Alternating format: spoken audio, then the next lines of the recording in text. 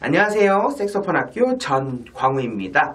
자, 오늘은요, 매일 연습하는 어, 악보 어, 2월 둘째 주 첫 번째 초보자들을 위한 연습 악보입니다. 자, 첫 번째, 줄- 첫 번째 줄부터 제가 직접 풀어드리고 어떤 부분들을 좀 생각해 주셔야 될지 제가 강의해 보도록 하겠습니다.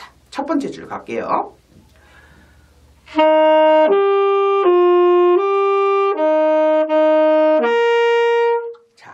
번째 줄에는 두 번째 마디에 도, 도, 솔하고 동일한 음이 도, 도가 나오는데요.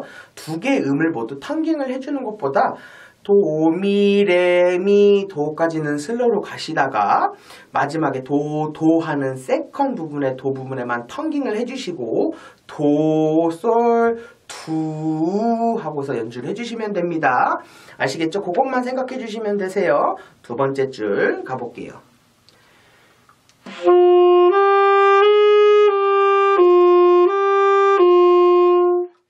레미, 파미, 레미, 레 했어요.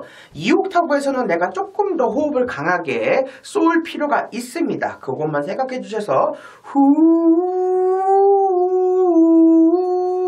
하면서 조금 더 밀어주셔야지 돼요. 그래서 깔끔하게 이 옥타브 소리가 이쁘게 나도록 연주를 해주시고요. 세 번째 줄 가보도록 할게요.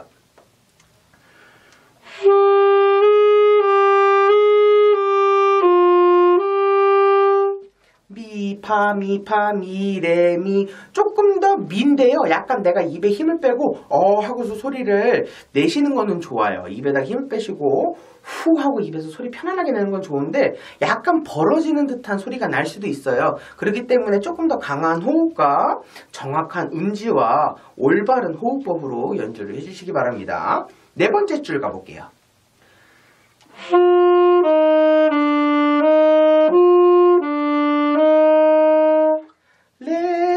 도 시도 레 시도. 자 마찬가지로 레 2옥타브와 1옥 1옥타브가 왔다 갔다 하죠. 이런 것 같은 경우에서는 레도 시 하고서 음을 빠 버리시면 안 돼요. 이렇게. 이렇게 하면 안 된다는 거예요. 똑같이 밀어주고서 가셔야 됩니다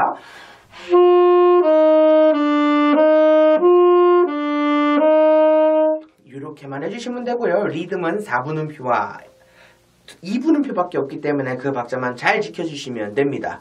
여러분들께서 어, 좀 집중적으로 VIP 온라인 학교에 여러분들께서 가입하고 싶다면 위쪽으로 연락 주시면 자세하게 상담 드릴게요. 지금까지 색소폰 학교 전광우였습니다. 감사합니다.